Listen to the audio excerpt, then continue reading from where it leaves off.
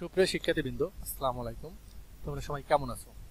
আশা করি ভালোই আছো। আজকে আমি তোমাদেরকে কোভিড উনিশ পরিস্থিতি দুই হাজার একুশ শিক্ষাবর্ষে পূর্ণ বিন্যাসকৃত পাঠ্যসূচির ভিত্তিতে অ্যাসাইনমেন্ট বা নির্ধারিত কাজ ও মূল্যায়ন নির্দেশনা, শ্রেণি নবম, সপ্তম সপ্তাহের। খেয়াল রাখবা, সপ্তম সপ্তাহের বিষয় রসায়ন বিজ্ঞান, সে অ্যাসাইনমেন্টের উত্তর নিয়ে চলে আসলাম।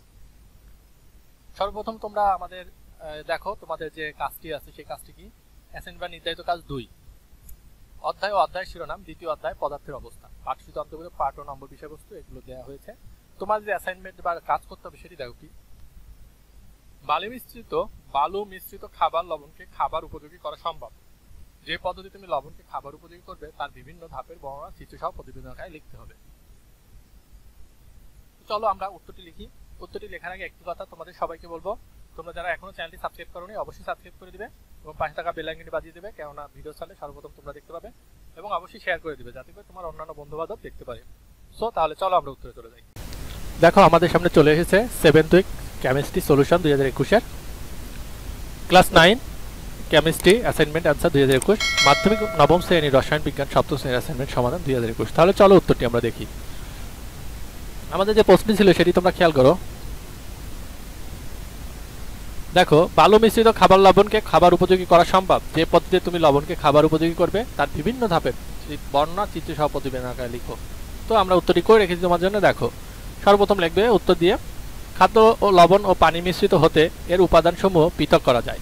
এ পরীক্ষণের দুইটি পদ্ধতি ব্যবহার করা হয়েছে, যথাক্রমে পরিস্থাপন ও বাষ্পীভবন। দেখো, আমি চিত্রটি রেখেছি, তোমরা এভাবে সুন্দর করে চিত্রটি আঁকতে পারো। অথবা কোনো কম্পিউটার দোকানে যে এই চিত্রটি তোমরা স্ক্রিনশট দিয়ে সেটা দিয়ে তোমরা খাতায় লাগিয়েও নিতে পারো, তোমাদের ইচ্ছা ওকে তাহলে চলো, চিত্রটি ভালোভাবে দেখে নাও। এভাবে আর যদি আঁকতে পারো আঁকবা, তাহলে মার্ক কিন্তু বেশি পাবা, খেয়াল রাখবা, ঠিক আছে? এরপর দেখো শিরোনাম। বালু মিশ্রিত খাবার লবণকে খাবার উপযোগী করা সম্ভব। তত্ত্ব, দেখো বালু মিশ্রিত লবণে পানি যোগ করা হলে লবণ পানিতে দ্রবীভূত হয়ে যায়, কিন্তু বালুই দ্রবীভূত হয় না।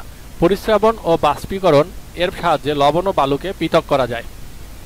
পরীক্ষাটি করার জন্য প্রয়োজনীয় কি যন্ত্রপাতি লাগবে দেখো? বিকার দুইটি ফানেল একটি, ফিল্টার পেপার, কাজদণ্ড একটি, ত্রিপদি স্ট্যান্ড, তার জালি, স্পিরিট ল্যাম্প স্টে টিউব একটি, বেসিন। রাসায়নিক দ্রব্য লাভে লবণ ও silver nitrate AG NO three দ্রবণ কর্মপদ্ধতি দেখো কীভাবে করবা। একটি কাচের বৈকারে বালু মিশ্রিত লবণ দিয়ে তাতে অল্প পানি যোগ করে কাজদণ্ড দিয়ে নাড়ি। ফলে লবণ পানিতে দ্রবীভূত হয়ে যাবে। কিন্তু বালু পানিতে দ্রবীভূত হবে না। একটি ফিল্টার পেপার পানিতে সামান্য ভিজিয়ে নিলে ফানেলের মধ্যে যথাযথভাবে স্থাপন করি। ফানেলটি দ্বিতীয় বিকারে স্থাপন করি।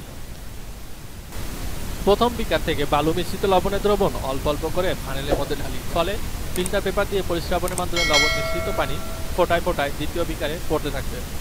সম্পূর্ণ দ্রবণ পরিশ্রাবণ হয়ে গেলে প্যানেলটিকে দ্বিতীয় বিকার থেকে সরিয়ে নিই এবং ফিল্টার পেপার থেকে সামান্য পাতিত পানি দ্বারা বালু ধৌত করে আলাদা করে নিই।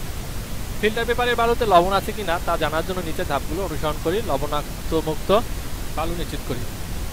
লবণ মুক্ত লবণমুক্ত বালু নিশ্চিত করি। তো লবণমুক্ত বালু কীভাবে নিশ্চিত করব? দেখেন এই একটা ছবি আছে, এই ছবিটি দেখলে আপনারা বুঝতে পারবেন। দেখেন, এটা সুন্দর করে দেখেন, লবণ বালু নিশ্চিত নিশ্চিত করুন। পরীক্ষা এক, পরীক্ষা পর্যবেক্ষণ সিদ্ধান্ত করণে দেখেন, পরীক্ষা দেখেন, এক বালিতে মিশ্রিত পানি একটি টেস্ট টিউবে জি সি ওয়ানের সাদা অর্থ এফ নিয়ে অল্প AG NO two NO three দ্রবণ যোগ করি। তারপরে এস জি সি ওয়ানের সাদা অজস্কে পড়ল। সিদ্ধান্ত বালুতে লবণ আছে। করণীয়, চার ইস্টু পাঁচ নং ধাপ অনুসরণ করব, ঠিক আছে? সো এভাবে আমরা আপনারা দেখবেন। এগুলো পরীক্ষা করতে পারবেন। তারপরে আছে দেখেন, ত্রিপদী স্ট্যান্ডের ওপর তার জালি রাখি এবং লবণ মিশ্রিত সম্পূর্ণ পানি বিকারে নিয়ে বিকারটিকে তার জালির ওপর স্থাপন করি। ওর স্পিরিট ল্যাম্পের সাহায্যে বিকারটি তাপ দিতে থাকি। ফলে পানি বাষ্পীভূত হয়ে উড়ে যাবে। কিন্তু লবণ বিকারে থেকে যাবে। এ অবস্থায় বিকারটিতে অল্প পরিমাণ পানি থাকতেই তাপ দেওয়া বন্ধ করি। লক্ষ্য করি বিকারের তলায় কঠিন পরিষ্কার লবণ জমা হয়েছে কিনা? দেখেন, সাবধানতা খেয়াল রাখবেন। পরিষ্কার পরিশ্রাবণ করার সময় মিশ্রণটিকে ভালোভাবে থিতিয়ে নিয়ে উপরের পরিষ্কার দ্রবণকে প্রথমে ফিল্টার পেপারে ঢালতে হবে। যেন বেশি বালু ফিল্টার পেপারে জমা না হয়। এতে পরিশ্রাবণ দ্রুত সস্তর হয়। মিশ্রণকে কাজদণ্ড দ্বারা ভালোভাবে নেড়ে সকল বালু ও দ্রবণ ফিল্টার পেপারের ওপর ঢালতে হবে। পরিশেষে বাষ্পীকরণের সময় শেষ পর্যায়ে কিছু পানি থাকতে তা প্রয়োজন বন্ধ করতে হবে যাতে কাঁচের বাটিতে ফেটে না যায়। সিদ্ধান্ততে কি আসতে পারি? বালু মিশ্রিত খাবার লবণকে খাবার উপযোগী করা সম্ভব। সো এই ছিল আজকের ভিডিওটি। সবাই ভালো থাকবে, সুস্থ থাকবে। এই কামনা করে আজকে তো বিদায় নিচ্ছি। আল্লাহ হাফেজ। আর হ্যাঁ তো একটা আরেকটি কথা শেষে। সবাই অবশ্যই চ্যানেলটি সাবস্ক্রাইব করে দেবে এবং শেয়ার করতে ভুলবেন না।